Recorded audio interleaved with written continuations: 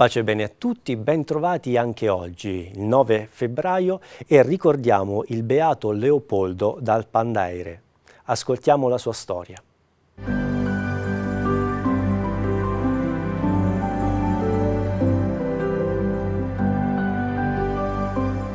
Francisco Tomás nasce ad Alpandeire, nella provincia di Malaga, nella Spagna meridionale.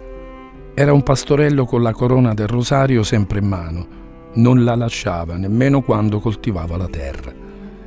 La sua vocazione nacque dopo aver ascoltato la predicazione di due cappuccini nel 1894 a Ronda vestì l'abito nel convento di Siviglia a 35 anni, cambiando il nome da Francesco a Leopoldo.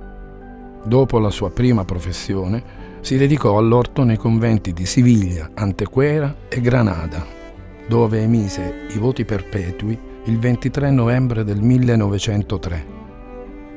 Quando divenne elemosiniere, fu l'occasione di contatto con uomini di varia umanità. Caricava su di sé i fardelli degli altri ed era sempre pronto a servire, comprendere, aiutare ed amare. Camminava per le strade a piedi nudi, sgranando il rosario e con lo sguardo rivolto verso il cielo.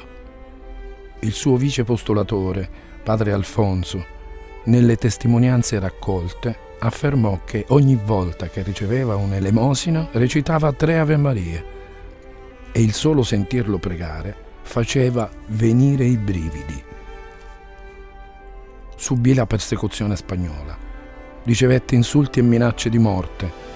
Quasi tutti i giorni lo prendevano a sassate e un giorno sfuggì alla lapidazione solamente perché un uomo intervenne in sua difesa. Nel 1953 si fratturò il femore cadendo dalle scale. Riprese a camminare con l'aiuto di due bastoni. Frate Leopoldo, morì il 9 febbraio del 1956 e molte furono le persone che si recarono a Granada per l'ultimo saluto. Ancora oggi la visita al suo sepolcro non si è interrotto. Il suo vice postulatore affermò che Fra Leopoldo testimoniò il mistero di Cristo povero e crocifisso con l'esempio e la parola, al ritmo umile e orante della vita quotidiana. Numerose sono le grazie attribuite alla sua intercessione. La sua causa di beatificazione si aprì nel 1961 e Papa Benedetto XVI a Granada lo dichiarò beato il 12 settembre del 2010.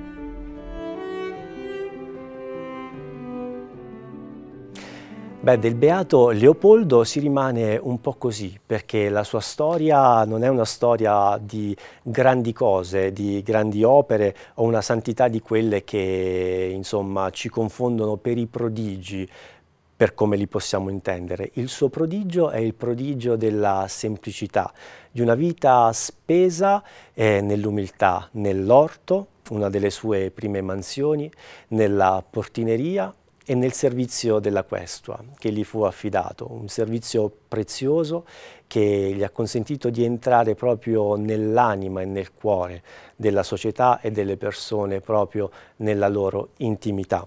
E beh, diceva il ministro generale dell'ordine su di lui a quel tempo, proprio parlando del beato Leopoldo, è indubitabile che fra Leopoldo, incontrandolo, affascina da subito per il suo essere semplice, naturale, senza artifizi, sincero e retto, evangelicamente povero. Un povero credente e candido, semplice e discreto, che ha saputo sempre mettersi in secondo piano, servendo nell'anonimato e nell'umiltà.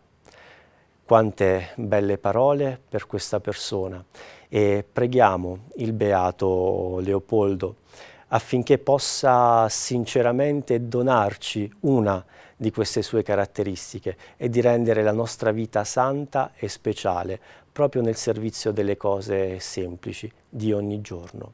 Beato Leopoldo, prega per noi.